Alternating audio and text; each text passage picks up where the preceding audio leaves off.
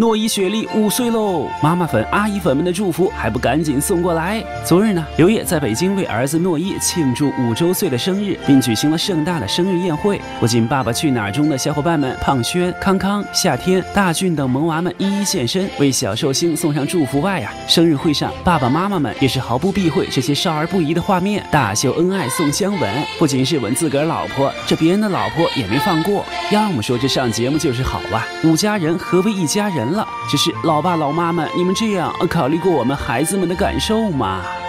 又酷全娱乐，你们城里人真会玩儿。整理报道。